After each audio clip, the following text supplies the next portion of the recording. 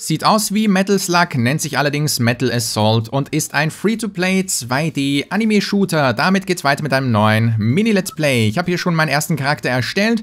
Ich werde aber die anderen Klassen auch noch kurz zeigen, mit dem Tutorial losstarten und so weiter und so fort.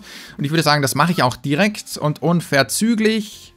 Charakterauswahl. Leider aktuell noch auf Englisch, aber das Spiel, diese Version hier wird gepublished von, Moment, Create Character gepublished von IDC Games. Da habe ich auch Cosmic League kürzlich vorgestellt und die wollen das Game erstens auf Steam bringen mit Steam Greenlight und vielleicht sogar auf Deutsch, wie ich den Publisher kenne.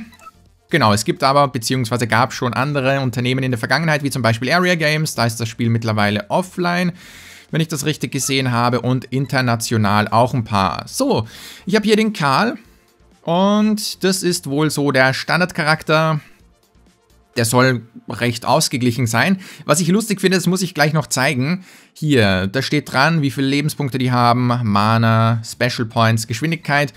Und ich habe einfach mal zum Beispiel diese beiden verglichen, den Karl und die Marie. Und dachte mir, hä? Die Marie ist auch in jeder Hinsicht besser als der Karl, aber habe dann später erst verstanden, dass es ja auch um die Waffen geht. Die Marie ist so eine Sniper-Braut sozusagen und deshalb hat die einfach hier überall mehr, um ein bisschen ausgeglichener zu sein. Die muss richtig lange nachladen. Ich werde wahrscheinlich jetzt den Karl erstellen. Dann gibt es noch den Burton. Der hat richtig viele Lebenspunkte, ist ein sehr träger Charakter, sehr langsam und so. Die Marie, die hat man eben vorhin schon gesehen. Und dann die gute Ai. Mit relativ wenig Rüstung, sozusagen. Und genau. Welche Waffe schwingt die so? Na gut, ich erstelle jetzt den Karl. Den nenne ich mal Schilling. Oh, verdammt, ich hätte noch hier die, die Frisuren so anpassen können. Da tut sich nicht viel, aber zumindest ein bisschen was kann man da abändern. Ich finde den Standard-Karl nicht so schlecht, deshalb passt das schon. Genau, ich möchte das Tutorial nochmal durchzocken, würde ich empfehlen, denn da bekommt man eine feine Belohnung wenn man keine Lust mehr hat mit Escape, einfach beenden. Mit WASD bewegt man sich, wer vielleicht Elsort kennt, der wird sich hier direkt zu Hause fühlen, denn genau so funktioniert das Game irgendwie. 2D-mäßig eben, das ist mein Fadenkreuz und... Ach, ich kann noch nicht ballern, ich habe noch keine Waffe. Und jetzt soll ich einfach mal ein bisschen durch die Welt laufen. Doppelt W klicken, beziehungsweise A, S und D. Da kann man diverse Sprünge durchführen. So, jetzt zeigt er mir, wie ich crouchen kann, um eventuellen Angriffen auszuweichen. Dann lernen wir nun, wie wir springen können, nämlich mit der Leertaste. Die Frisur ist einfach göttlich, wie so ein Stern. Erinnert mich an die, die guten alten Final Fantasy Frisuren. So, beeindruckend, sagt er.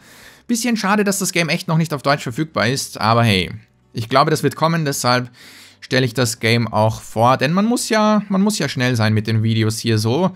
Dann äh, können wir natürlich auch diverse Leitern hochklettern, wenn ich es schaffen würde, mit W, genau. Und die nächste, dann elegant nach drüben springen. So, jetzt das Ganze nach unten. Sieht aus wie, wie das allererste oder eines der ersten Mario vs. Donkey Kong Spiele, wo man von unten nach oben den Fässern ausweichen muss und so, um die Prinzessin zu befreien. Gut, jetzt äh, kann man natürlich dann auch noch die Ebenen wechseln. Das heißt, wenn ich von oben runter möchte, muss ich mir hier so ein Gebüsch zum Beispiel suchen und dann nach unten klicken und die Leertaste betätigen. Sehr fein. Und jetzt wird aber geballert. Ich bin schon gespannt, welche Waffe der so hat. Nein, wir rollen noch. Moment, das ist knifflig, da muss man aufpassen. Denn das muss ich im richtigen Moment timen, sodass ich genau den Schüssen ausweiche. Jo, ansonsten würden mich die treffen. Ein bisschen Schaden verursachen. Hilfe, lass mich in Ruhe. Genau, hier. Bams, verursachen mal ein paar Hits. Gut, Granaten kann ich werfen. Ach, das hätte ich schon fast vergessen. Das habe ich aber im Tutorial nicht so ganz verstanden mit der rechten Maustaste. Dieses Push und Move, was, was hat er damit gemeint? Also mit der rechten Maustaste fülle ich diese Energie auf und es ist wahrscheinlich am besten, wenn die ganz voll ist. So in etwa. Jetzt habe ich den Gegner nicht mal getroffen, aber ging sich trotzdem noch aus. Gut. Dann Quickslots. Man hat hier sozusagen eine Hotbar wie in einem RPG. Und da wechselt man diverse Waffen bzw. Fertigkeiten, vielleicht auch Medikits habe ich schon gesehen im Inventar. Ich soll, ich soll sehr viel üben. Ja, werde ich. Was dauert denn so lange? Mach weiter hier. Jetzt kann ich ballern. Yay, wuhu. Genau, die Waffe gefällt mir schon ein bisschen besser. Die Sniper war etwas langsam, nicht so actionreich. Dann Hotkeys belegen. Da sehe ich schon eine Heilung. Genau, Waffen aus dem Inventar kann ich hier reinziehen. Sehr gut. Und jetzt kommen mal die Feinde an den Start. Ach so, der hat jetzt auch eine Sniper. Zum Üben. War das so im Tutorial, aber ich glaube, der hat dann später eine andere Waffe. Es gibt auch Headshots, wenn ich, wenn ich richtig ziele. Okay, die Headshots gibt es nur bei echten Gegnern. Nicht bei diesen Trainingspuppen, aber die echten Gegner stehen auch gleich noch an. So, das ist es. Gut gemacht. Sehr schön. Dankeschön. Und jetzt muss ich zwischen Freund und Feind unterscheiden. Das ist ein Gegner. Headshots. Bam. Dann der nächste Gegner. Boom, Headshot. Jawohl. Kann ich meinen eigenen auch treffen? Nö, ich hoffe nicht. Der visiert den sogar so ein bisschen an mit diesem Fadenkreuz. Nächst... Das war kein Headshot? Schilling, du Schlingel. Das war ein Headshot. Exzellent. Dann kann ich, was er mir jetzt erklären möchte, auch ein bisschen weiterschauen, als äh, die Kamera eigentlich erlauben würde, wenn ich einfach mit dem Mauscursor mich dorthin bewege. Und dann sehe ich Gegner aus der Entfernung. Ach so, es ist egal, welchen Gegner ich anvisiert habe. Wenn der in der Schusslinie steht, dann wird trotzdem der andere angegriffen. Hier zum Beispiel möchte ich den treffen. Aber der andere hat sich vor dem befunden, vor der Fluglinie sozusagen, vor der Schusslinie. Und deshalb hat das nicht funktioniert. Da ist vorher der andere gestorben.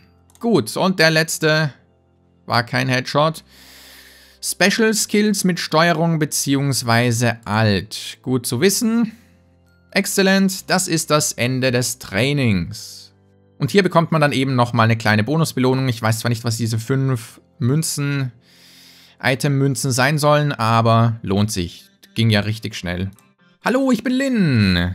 Und sie ist verantwortlich für die neuen Rekruten. Ich bin hier angekommen und würde sagen, ich starte direkt mal los. Ich möchte aber noch kurz das Interface in der ersten Folge ein bisschen durchgehen. Allzu viel gibt es ja nicht, aber man kann trotzdem Items ausrüsten und ein paar andere Dinge. Das ist mein Charaktermenü. Ich sehe die Kills, den Score, es gibt Erfahrungspunkte, Lebenspunkte, Mana, Special Points, dann die Skills auf der Taste K.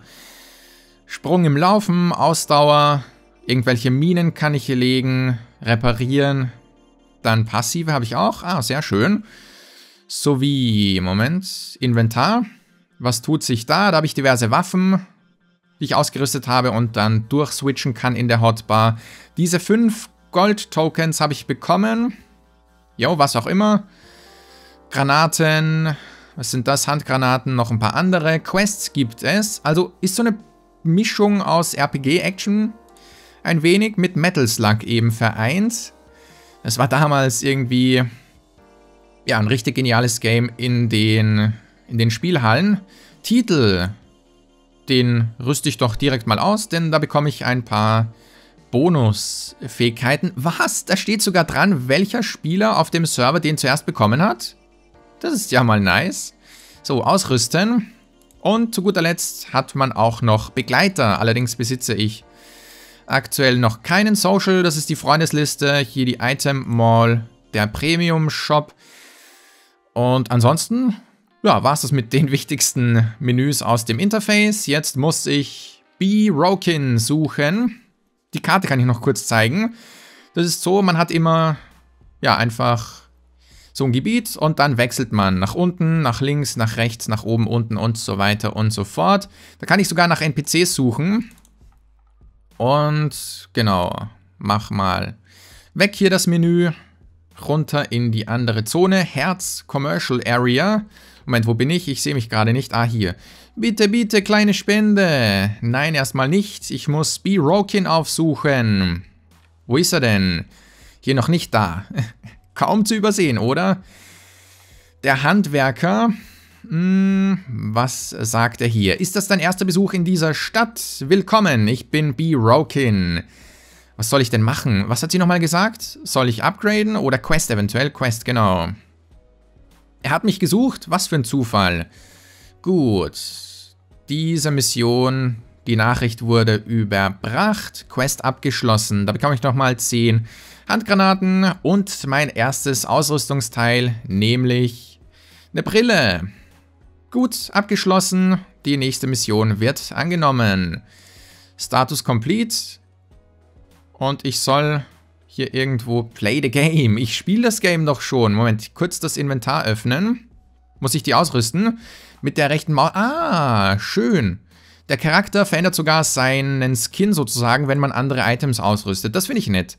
Sind zwar nur so ein paar Pixel, der Char, aber wenn sich zumindest auch die Ausrüstung ändert, wenn man neue Items bekommt. Facebook has gained? Ach, der Spieler heißt so, oder wie? Kann ich den Chat irgendwie kleiner machen? Äh, nö, das war genau das Gegenteil von dem, was ich tun wollte. Okay. Hier muss ich zu Sync. Wer auch immer das ist, der bringt mir etwas bei über mein Bankfach oder so, wenn ich das richtig verstanden habe. Muss ich näher ran? Moment.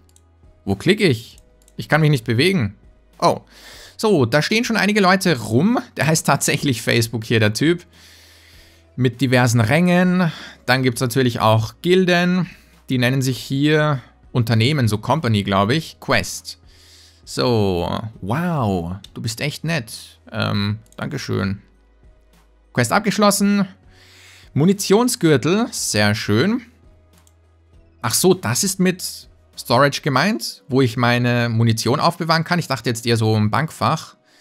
Dann die nächste Quest. Kann ich das ausrüsten? Jawohl. Oh Mann. Gut. Beim Howard bekomme ich weitere Missionen. Und da gibt es auch Tournaments. So, Quest. Dun, dun, abgeschlossen. Neues Outfit bekommen. Sauber. Direkt ausrüsten. Nummer 1 und Nummer 2. Schüchen erhalten. Und jetzt soll ich noch zu Ben gehen. Denn bei Ben erfahre ich alles über Gilden, beziehungsweise eben Companies. Wo ist er, der Ben? Hier drüben irgendwo. Da steht er schon rum. Alles klärchen, Quest abgeschlossen und direkt nochmal zwei neue Items bekommen. Wieder ein Brustpanzer-Moment. Wo ist denn da der Unterschied? B und C? Die Stats sind identisch, oder? Jo, irgendwie schon. Und neue Handschuhe. Gut, ich will mal kämpfen. Level up. Wuhu. Sauber. Damit bin ich. Level. Wo sehe ich's? Wo sehe ich's? Mein Charakter U. Level 2, schätze ich mal. Private 2. CL. Klammer auf 2L. Ich denke mal 2L bedeutet Level 2. Neuer Titel? Nö, wo denn? Da steht New dran, aber ich finde nichts. Macht nichts. Ich will nämlich ins Inventar. Ich habe schon wieder was Neues bekommen. Okay. Und einen Rucksack. Endlich, jetzt geht's los. Ich wähle den Battle Mode aus. Ich glaube, da muss ich rein für die Quests. Ach so, ich will keinen Raum erstellen. Quick Start. Äh, dann wähle ich... Da wollte ich nicht rein, ich wollte es doch nur mal anklicken. Ach so. Der Facebook ist hier. Soll ich da rein? Moment, waren da noch andere Räume mit, mit mehr Spielern eventuell? Einer von 16, vier von 4, zwei von 16, let's go. Hm, dann schaue ich vielleicht hier mal rein. Let's go, start. Okay, ich kann dem Kollegen jetzt zuschauen. Ich müsste bis zur nächsten Runde warten, aber wenn das jetzt 16 Minuten dauert, dann ist das doch ein bisschen lange irgendwie, oder? Aber ganz kurz können wir ja noch schauen, was der hier so treibt. Das Ziel lautet, man muss irgendwie ganz nach oben kommen, denn dort wartet ein Helikopter. Und da muss man irgendwie hin. So. Äh, ja, das dauert und das dauert und das dauert. Ich würde sagen, ich gehe mal raus und suche mir einen anderen Raum, wo ich direkt mitmachen kann. Okay, ich habe jetzt meinen eigenen Spielmodus, Spielraum einfach erstellt. Und ich muss dieses Camp verteidigen, wenn ich das richtig gesehen habe. So. Warte ich jetzt einfach oder kann ich den Gegnern schon entgegenlaufen sozusagen? Ach, da sind schon welche. Da kommen jetzt ein paar Zombies an. Es gibt auch einen Zombie-Modus. Critical. Diese Portale sind wahrscheinlich die Spawnpunkte. Aber die Sache ist, ich muss bestimmt auch zur anderen Seite rüber. Moment, kann ich da gar... Doch. Ich muss bestimmt auch zur anderen Seite rüber. Ich schaue da mal unten lang. Wie kannst du runter? Hä? Okay, egal. Dann einfach mal losballern. Kann ich hier vielleicht runter? Ah, sehr schön. Es gibt eben so manche Stellen, da kann man die Ebene wechseln. Uh, das sind einige. Critical, critical. Ich muss sagen, es wäre nicht so schlecht, wenn da noch ein paar andere Leute am Start wären. Und hier sammle ich richtig viele Buffs ein. Kann der irgendwie sprinten? Er kann zwar diese Rolle durchführen, aber nach Sprinten sieht das nicht aus. Richtig schnell ist er dadurch nicht. Runde clear. Oh, da kann ich... Hey, das ist ja richtig nett. So, ich weiß nicht, was soll ich mir da gönnen? Defense bisschen, Rapid Fire Speed, ich kaufe mir einfach irgendwas. Ich habe ja keine Ahnung. Das war übrigens mein Telefon, tut mir leid, ich pack's gleich weg. Hier, immer diese unaufmerksamen Schillinge. Oh, das ist gerade echt ungeschmeidig, wenn man da alleine ist. Wo sind denn die anderen? Ich muss hier alles alleine machen. Immer links und rechts und links und rechts, das geht ja nicht. Kill Counter 55, 56. Was? Der, der zielt automatisch. Ich, ich bewege gerade meine Maus nicht. Ich klicke nur auf die linke Maustaste. Der visiert alle Mobs an, die irgendwie in der Nähe sind. Was ist denn das? Da braucht man ja kein Aiming. Das ist krass. So, ich habe gerade unendlich Munition durch dieses Item. Moment, die nehme ich noch mit, bevor ich mich zur anderen Seite begebe. Sieht man die Zombies denn nicht auf der Karte? Nö. Tatsache. Die sieht man hier nicht auf der Karte. Aber das, das lenkt ein bisschen ab. Ich will meine Maus bewegen, aber die bewegt sich von alleine. Heftig. So, mit, mit Steuerung kann ich hier ein paar Boosts einsetzen. Wow. Das ist dann mal das Sprinten. Heftig. Das ging flott. Hm. Ja, ich kaufe mir einfach irgendwas. So. Nochmal Attack pushen und die Lebenspunkte eventuell. Ich bin ready. Kill Counter 100, Burst. Ja, will ich ja mal hoffen. Wie wär's denn mit anderen Mobs? Uh, uh, uh, uh, genau in dem Moment kommt einer an. Wenn der von der Seite kommt, genau, dann ist auf der anderen Seite bestimmt auch einer am Start. 105 bereits besiegt in der dritten Runde. Wow, wow, wow, wow, wow, wow. Geht ja richtig schnell ab hier. Oh, von hier oben kommen die auch aus den Bäumen. Ja klar, Zombies wachsen ja auf Bäumen. Das weiß doch jeder. Das weiß doch auf jeden Fall jeder. Habe ich mit Steuerung wieder irgendwas? Nö. Ich bleibe jetzt einfach mal hier stehen. Denn hör doch auf, automatisch die Mobs anzuvisieren. Das ist extrem oder gewöhnungsbedürftig, würde ich einfach mal sagen. Das ist heftig die Maus macht, was sie will. Ich visiere einen Mob an und die, die fliegt hier durch die Zone, die Maus. Also nicht die Maus, sondern das Fadenkreuz irgendwie so. Ich bleibe einfach mal hier stehen. Denn vorhin ist es passiert, das sind zwei von den schnellen Zombies einfach von der anderen Seite, ja, dahergelaufen. Und das war unschön. Was bedeutet, keine, keine Munition mehr? Dann schnell eine andere Waffe nehmen oder so. Oder hier Munition auffüllen. Aber mit der Sniper, die, die braucht irgendwie so lange, um nachzuladen. Was sind denn diese Prozente da? Kann mir das jemand erklären? So, dann gönne ich mir hier noch ein bisschen was. Und hier und hier. So, ready. Los geht's. Nächste Runde. Runde 4 von 10. Ich habe jetzt echt keine Munition mehr. Liegt die hier irgendwo rum? Da oben kommt schon wieder so ein Typ. Oh Mann, was ist das für eine Waffe? Eine Shotgun wenn ich das richtig sehe. Und die Flagge heilt sich leider nicht. Verdammt, da wird es sowieso gleich zu Ende sein. Jetzt habe ich die Munition der besten Waffe verbraten. Jetzt habe ich so eine, eine ganz normale Pistole. Was ist das hier noch auf der 4? Nimm doch! Wow, eine Bazooka! Aber die lädt ja eine halbe Stunde nach. Oh, jetzt habe ich nicht mal getroffen. Schnell eine Granate reinwerfen. Uhuhuhu. Ich muss mir echt hier diese Munition schnappen. Ach so, Moment, vielleicht füllt der die Munition auf, die ich gerade ausgerüstet habe. Mann, was ist denn da los? Ich habe keine ordentlichen Waffen am Start. Was, was tut sich hier? Jetzt rüste mal die erste Waffe aus und ich muss hier irgendwo... Ja, leider verloren. Das sind dann zu viele geworden. Irgendwie in der ersten Runde war gar nichts am Start und jetzt... Piu, piu, piu, piu, piu. Oh Mann. Ja, da muss ich definitiv noch ein bisschen üben. Jetzt ist hier jemand Tenten. Da zockt wohl jemand oder da kennt wohl jemand Naruto. Gut, dann starte ich jetzt nochmal, aber außerhalb der Aufnahme. Ich bedanke mich fürs Zusehen und es geht einfach beim nächsten Mal weiter.